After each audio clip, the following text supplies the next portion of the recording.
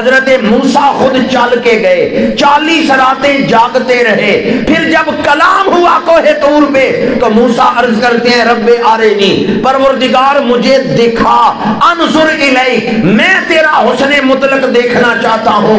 हज़रत मूसा का मकाम है आरे नहीं हमारे आका का मकाम है ले नोरैया ओलमा से पूछे, इन दोनों में फ़र्क क्या है? आरे नी और ले नोरे याहू इन दोनों में फ़र्क क्या है? मूसा अर्ज़ करते हैं, मैं देखना चाहता हूँ। और हजूर को रब फरमाता है, महबूब, तुझे मैं खुद दिखाऊँ।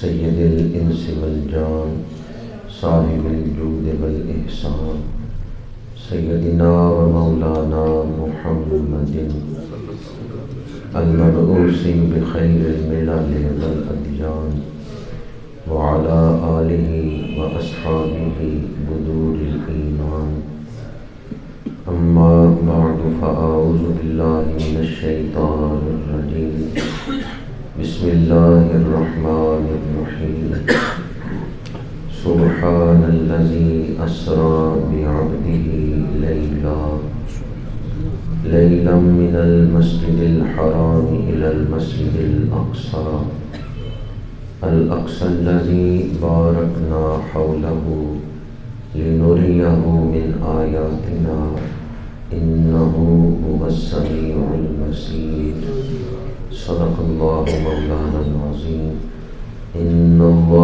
मलाइकतहु युसल्लूना अलन नबी या अय्युहल्लज़ीना आमनू सल्लु अलैहि व सल्लिमू तस्लीमा अस्सलातु वस्सलामु अलैका या रसूलल्लाह व अला आलिका व अस्हाबिका या हबीबल्लाह सलातु वस्सलामु अलैका या रसूलल्लाह व अला आलिका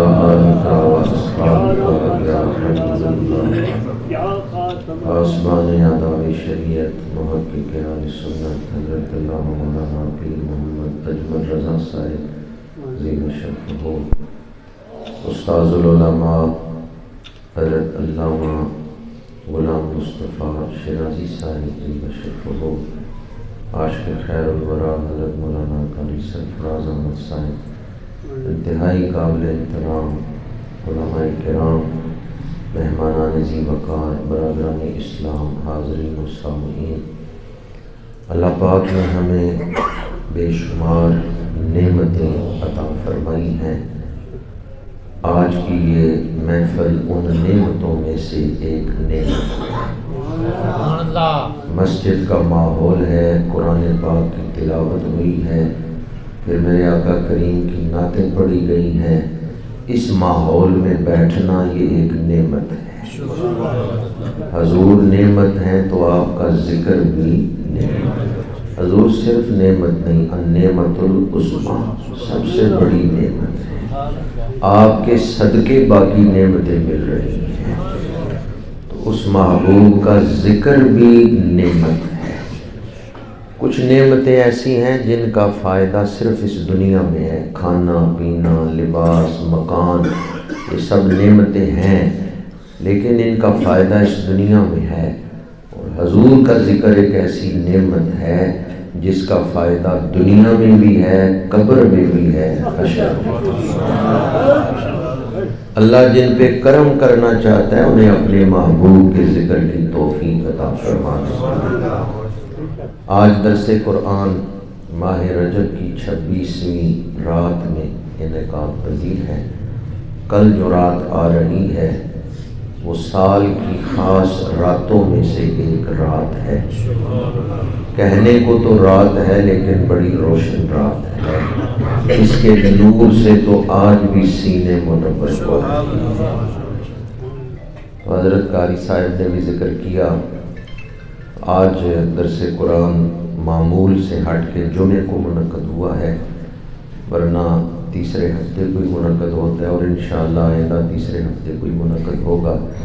शब मराज की कुछ मेरी सालाना मसरूफियात हैं, इस वजह से एक दिन पहले रखना पड़ा।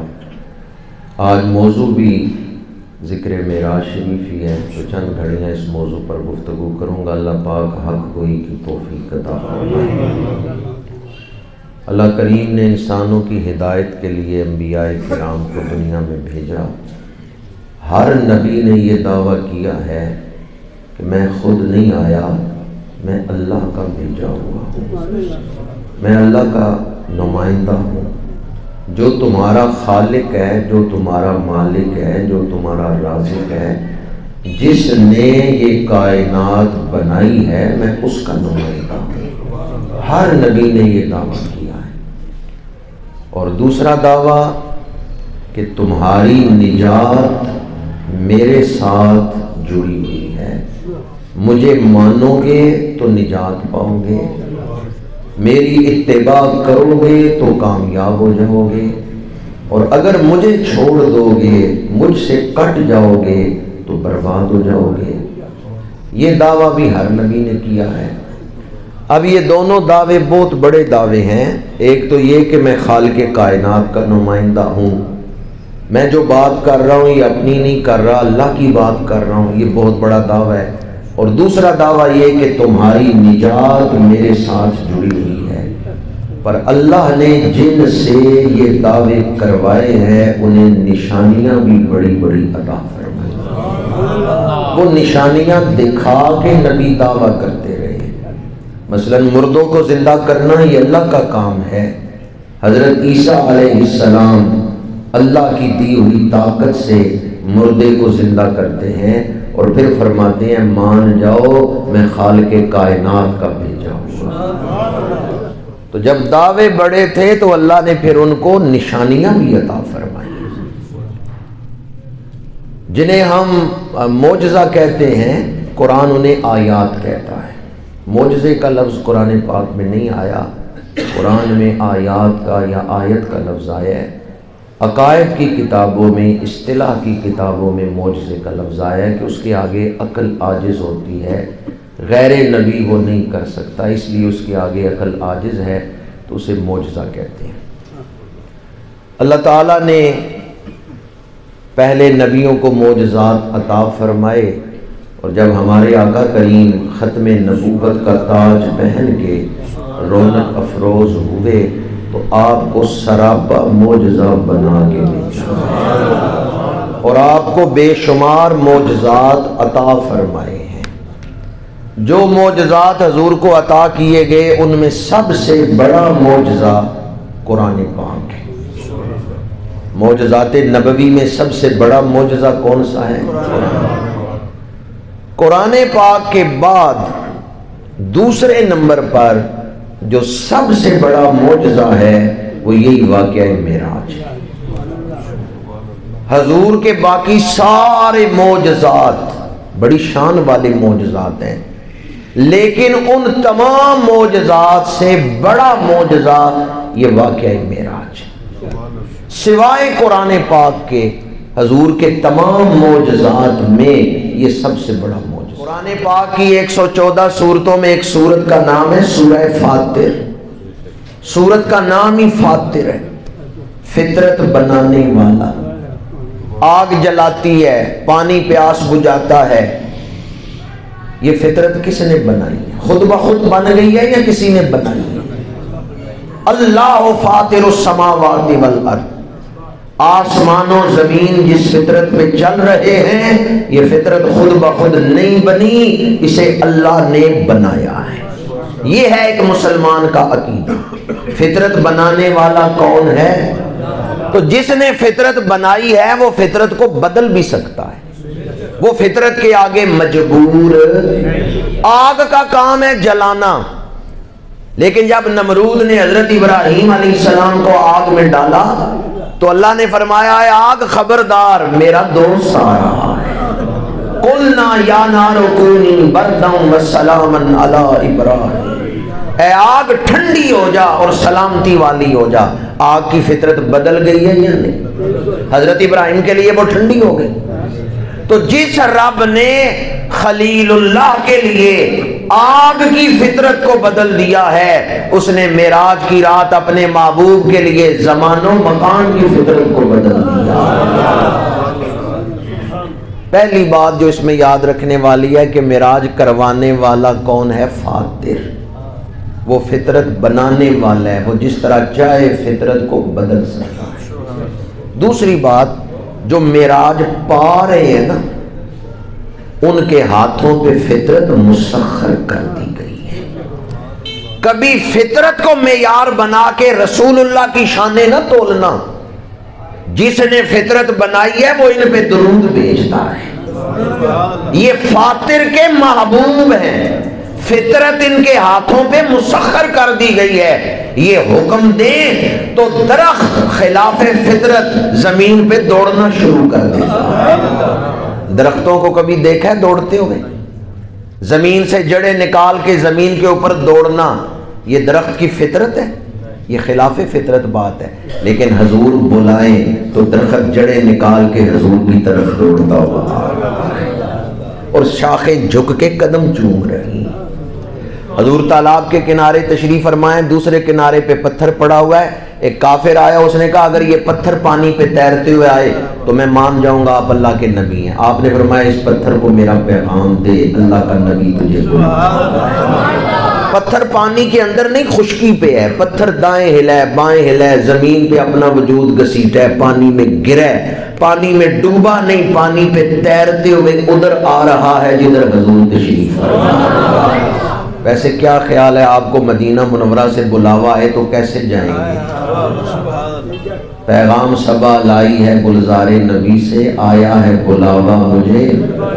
है पत्थर तू पानी पे क्यों तैरते हुए जा रहा है? वो कहते हैं, आया है बुलावा मुझे।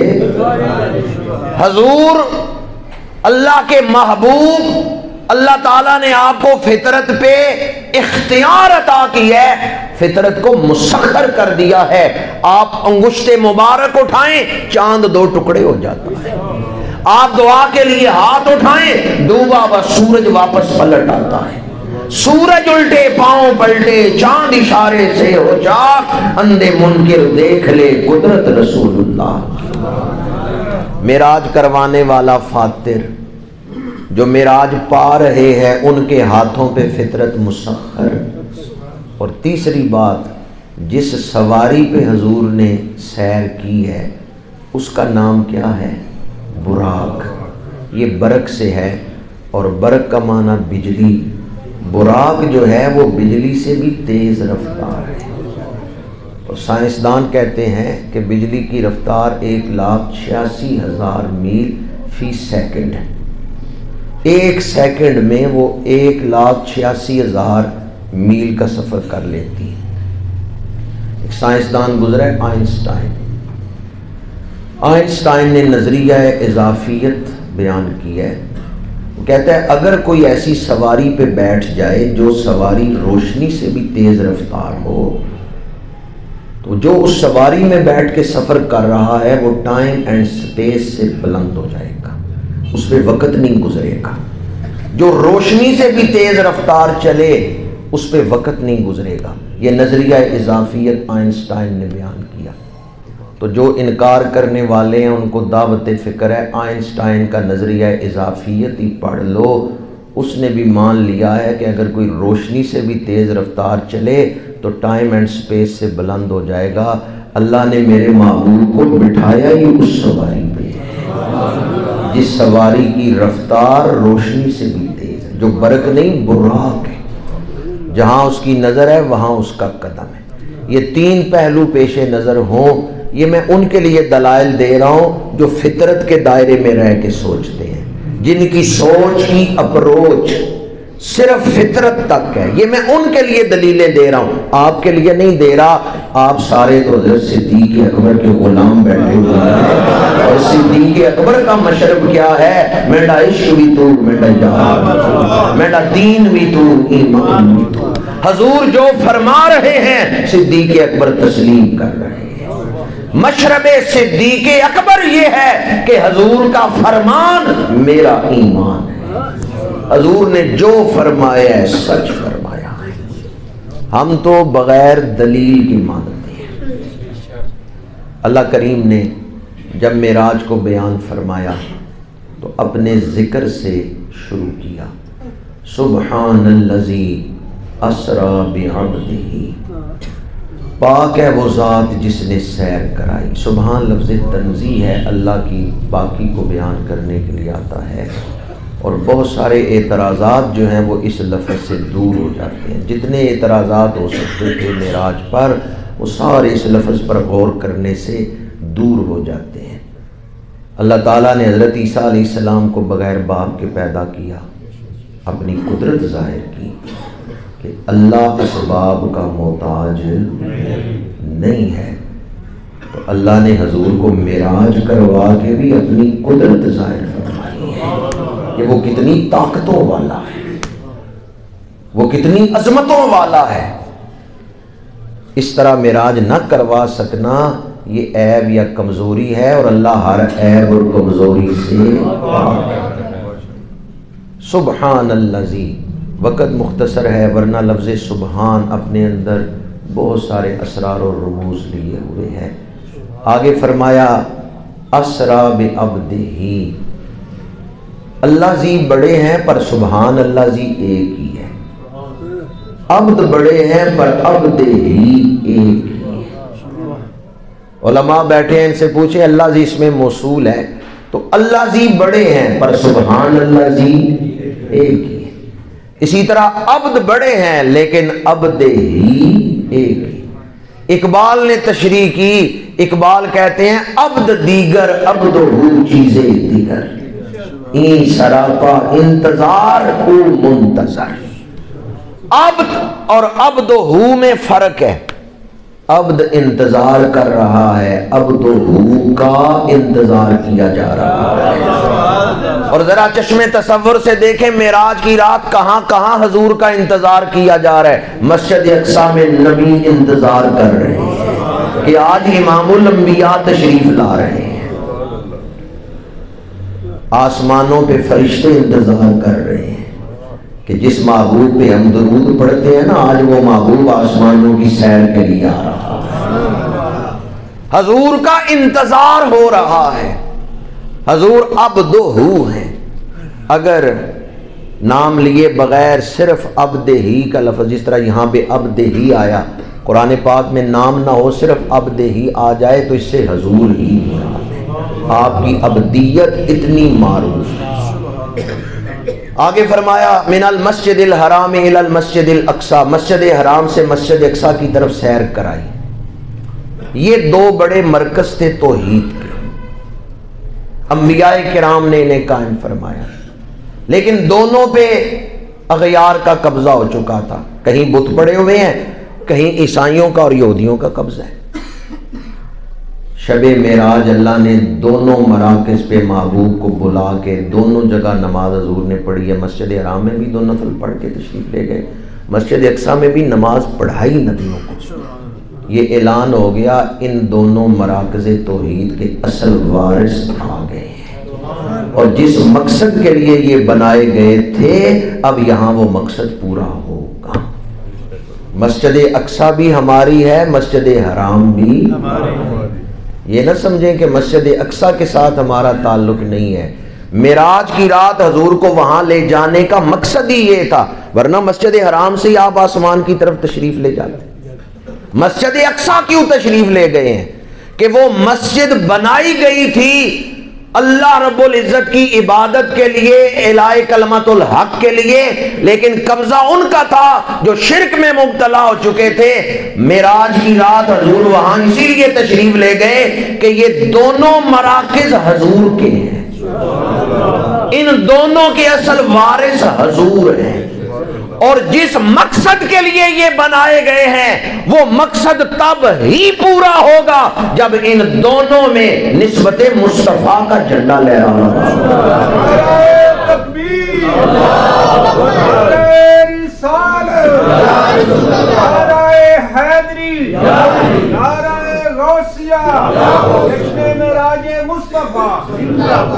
मस्जिद हराम हमारी है तो मस्जिद अक्सा भी डर डर के बोल रहे हैं। कौन सा इसराइल तक आवाज़ पहुँच रही है? मस्जिद अक्सा मस्जिद हराम हमारी मस्जिद है तो मस्जिद अक्सा भी हमारी वहाँ रहने वाले मुसलमान भी हमारे भाई आगे मस्जिद अक्सा की शान बयान की अल्लाह जी बारक ना हौला हो वो मस्जिद बरकतों में डूबी हुई है। हमा वक्त बरकतें नाजल हो रही जिसके बाहर बरकतें, अंदर कितनी बरकतें होंगी। आगे मकसद मेराज को बयान किया, ले नोरे या पीछे गायब का अंदाज है, असरा गायब का सीग है, ले नोरे याहू जमा मुतकलम का सीग है। वाहिद ज़ात अपने लिए जमा का लफ्ज़ बोले, उसमें मुआजम बिनफ ही का मान है। उस तशरी में नहीं जा रहा। सिर्फ़ एक नुकता अर्ज़ कर रहा हूँ, पीछे गायब का सीग है, आगे मुतकलम का सीग है। ले नोरे यामिन आयातना। यहाँ अल्लाह ने खास इल्तिफात फरमाया महबूब की तरफ़। खास निस्बत का इजहार किया है, इसलिए मुतकलम का सीगा बोला है कि मुझे जो इल्तफात अपने महबूब के साथ है, वो किसी और के साथ नहीं है। अगर मखलूकत में सबसे से ज़्यादा अल्लाह का इल्तिफात है तो वो वजूद मुस्तफ़ा पे है। इसलिए फरमाया, हम दिखाना चाहते हैं, हमने बुलाया है, हमने मेराज करवाई है, हम दिखाना चाहते हैं। हज़रत मूसा खुद चल के गए, चालीस रातें जागते रहे। फिर जब कलाम हुआ कोहे तूर पे तो मूसा अर्ज़ करते हैं, रब्बे आरेनी, परवरदिगार मुझे दिखा, अनसुर मैं तेरा हुस्न मुतलक देखना चाहता चाहता हूँ। हज़रत मूसा का मकाम है आरे नहीं हमारे आका का मकाम है ले नोरैया ओलमा से पूछे इन दोनों में फ़र्क क्या है? आरे नी और ले नोरैया इन दोनों में फ़र्क क्या है? मूसा अर्ज़ करते हैं मैं देखना चाहता हूँ। और हजूर को रब फरमाता है महबूब तुझे मैं खुद दिखाना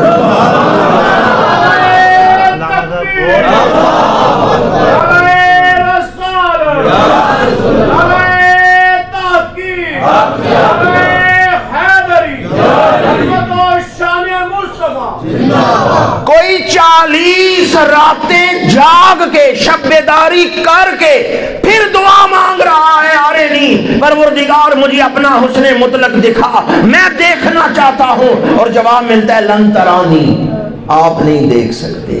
और कोई चादर लेके आराम फरमा है, उन्हें उठा के जबरील को भेज के महबूब को बुला के हुसन दिखाया जा रहा है। आला हज़रत कहते हैं तबारक अल्लाह है शान तेरी, तुझी को जेबा है बेनियाजी। कहीं पे वो जोशे लंतरानी कहीं तकाजे मिन्नी, कहीं तकाजे थे ले नोरे याहू मिन आयातिना। ताकि हम दिखाएँ, यहाँ अल्लाह दिखाना चाहता है। और ये हजूर का मकाम महबूबियत है। आगे फरमाया इन नसमीबसीर बेशक वो वही है जो बहुत सुनने वाला, बहुत देखने वाला है। अल्लाह के ज़िक्र से वाक़ मेरा शुरू हुआ, अल्लाह के ज़िक्र पे ही ख़त्म हुआ। वाक़ बयान करने का वक़्त नहीं है। वैसे भी मैंने शुरू में कहा कि हजूर के मोजात में सिवाय कुरान पाक के सबसे बड़ा मोजा मेराज है। तो एक महफल में तो उसे बयान नहीं किया जा सकता। हजूर ताइफ से वापस तशरीफ़ लाए हैं। ग्यारह साल हो गए हैं तबलीग करते हुए। मुशरकिन ने रास्ते में रुकावटें खड़ी की हैं। और ताइफ से वापसी का दिन सीरत में सबसे मुश्किल दिन है। उमरमिन हज़रत आयशा सिद्दीक़ा रज़ी अल्लाह तहा ने एक मौके पर सवाल किया, या सल्लल्लाहु अलैहि वसल्लम, सबसे मुश्किल दिन कौन सा था? तो आपने फरमाया ताइफ से वापसी कर लेकिन जब हजूर ताइफ से वापस मक्के तशरीफ़ लाए हैं, मुशरकिन मक्का भी आपको परेशान कर रहे हैं। हज़रत उम्म हानी के घर हजूर तशरीफ़ फरमा है, वहाँ रात आराम फरमा है। अल्लाह ताला ने जबरील भेज के हजूर को मेराज पे बुला लिया है। ताइफ पहले है या मेराज पहले है? जी? सीरत में ताइफ पहले है या मिराज? ताइफ पहले है, मिराज बाद में है, सब्र पहले है, इनाम बाद में दुख पहले है, महबूब का दीदार अगर ज़िंदगी में कभी दुख आ जाए तो घबरा ना जाए। ये जो सीरत की तरतीब है, ये हमें बता रही है। वरना मेरा ईमान है, हजूर तबलीग ना फरमाते, दुख बर्दाश्त ना करते, दुआई फरमाते, दीन फैल सकता था। फिर हजूर ने मेहनत क्यों की? ताकि हमारे लिए नमूना बन जाए, उस वह हसना बन जाए कि दीन के लिए मेहनत करना हजूर की सुन्नत है। वरना हम भी फिर दुआ ही करते, मेहनत तो ना करते। हम कहते, दीन के लिए मेहनत करना सुन्नत है ही नहीं, बस दुआ करो। तो हजूर ने मेहनत करके मेहनत करना हमारे लिए सुन्नत बना ली इसलिए ताइफ भी गए। ताइफ तक ये सारा सीरत का आप दौर पढ़ के देखें, इसमें मसाइब हैं, तकलीफ़ें हैं, शेब अभी तालिब है, सोशल बाइकाट है। लेकिन जब ताइफ से वापस आए हैं, सबर इंतहा को पहुँच गए जब सबर इंतहा को पहुँच गया तो रब ने इनाम भी बेमिसाल अता फरमाया। इन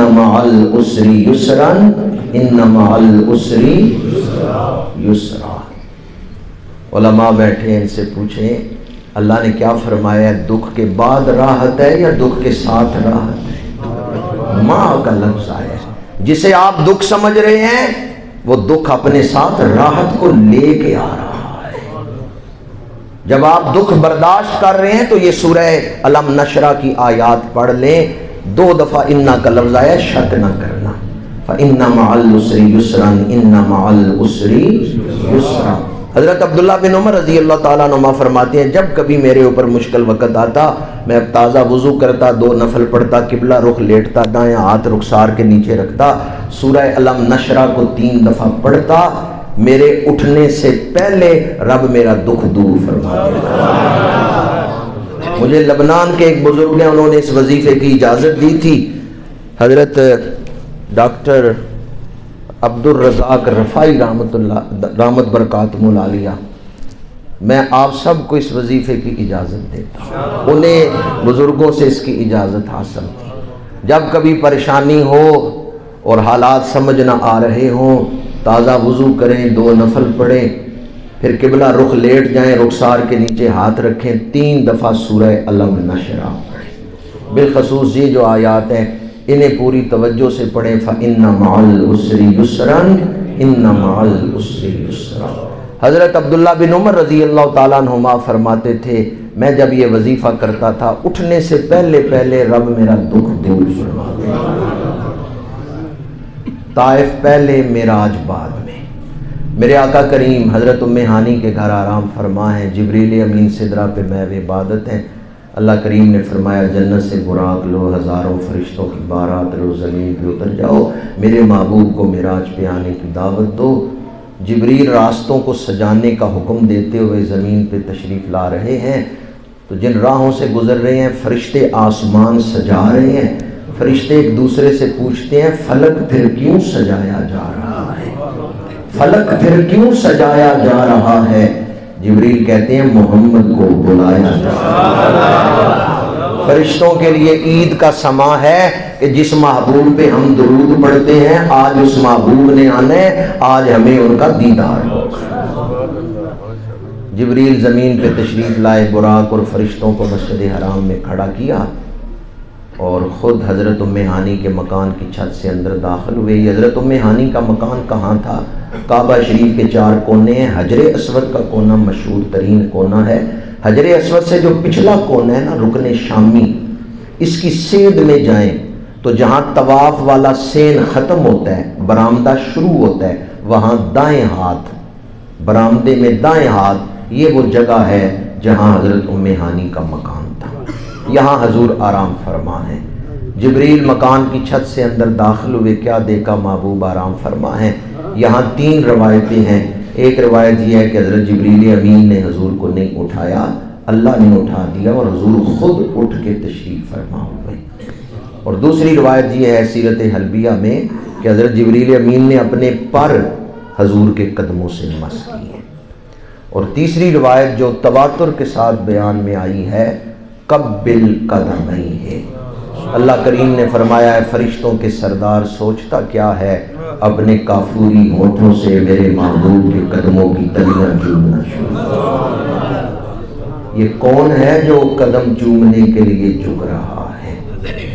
जिसकी अपनी रफ्तार इतनी है कि मना में हज़रत इस्माइल की गर्दन पे छुरी रख दी गई। हज़रत इब्राहिम छुरी फेरने लगे। हज़रत जबरील सिदरातुल मुंतहा पे हैं। अल्लाह ने फरमाया, जा जाके छुरी के नीचे दुब्बा रख दे और इस्माइल को निकाल दे। एक सेकंड में सिदरातुल मुंतहा से मना की वादी में आ गए। पर मेराज की रात हजूर के कदम चूम के जबरील जबान हाल से कह रहे हैं, मेरे परों की बड़ी परवाज है, पर जो आपके कदमों की रफ्तार है। जहाँ आपके कदम जा सकते हैं, मेरे परों की परवाज वहाँ तक नहीं जो दी तबगी तो माँ जिस दी सैर दिया, कौन करेगा रिसा उस दे पैर। जो दी तबकी तो माँ जिस दी सैर दिया, कौन करेगा रिसा उस दे? मदार जो नबूवत में शेख अब्दुल हक मुहद से देर भी लिखते हैं, मेरे मुर्शिदों के पैर बड़े सोने थे। जहाँ हजूर के होलियात बयान किया ना, कदमैन का ज़िक्र करते हुए, मौजू हजूर के कदम है। तो कहते हैं, मेरे मुर्शिद हज़रत मूसा गिलानी के कदम बड़े सोने थे, जो उनके पैर देखता था, देखता ही रहता था। पैरों से नज़र नहीं हटती थी। ये बात बयान करके साहिब मदार जो नबूवत फरमाते हैं, इतनी सदियों बाद इमाम हसन की औलाद में एक सैयद जादे के पैर इतने सोने हैं तो खुद रसूलुल्लाह के कदम या अल्लाह जिसने इस पर सुबह अल्लाह का, उसे हजूर के कदमों का बोसा चौधी तबगी तो माँ जिसकी सैर दिया, कौन करेगा रीसा उस दे जहाँ हजूर का पैर है, वहाँ खैर ही खैर ही खैर। कभी तस्वर में हजूर के कदम का नक्श अपने दिल पे बनाए। अपने सीने पे हजूर के कदम का नक्श तस्वर करें, आपका सीना मुनवर हो जाए। खाई कुरान खाके गुजर की कसम, उस कफे पा की गुरबत पे मैं इन अल्फाज पर गुफ्तगु को समेटता हूँ। मेराज का मौजू ऐसा है ज़िंदगी गुजर गई बयान करते हुए।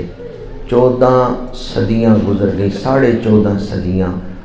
ने इस मौजू पर किताबें भी लिखी हैं, तफसीरें भी मौजूद हैं और बयान भी हो रहे हैं। लेकिन अभी तक इस मौजू को इतना ही बयान किया जा सका है कि जैसे समंदर से एक कतरा बयान। और ये मैं हकीकत बयान कर रहा हूँ, बावजूद कुरान मेरे सामने पड़ा हुआ है। क़यामत तक लोग हजूर की शान बयान करते रहेंगे, लेकिन बयान करने का हक अदा नहीं हो सकता। मैं इन अल्फाज पर ही गुफ्तु समेटता हूँ। कल की रात सो के ज़ाया करने वाली रात नहीं है।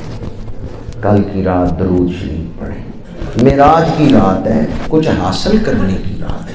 महबूब की मेराज का वास्ता दे के रब से मांगे इन दुआएँ कबूल हो।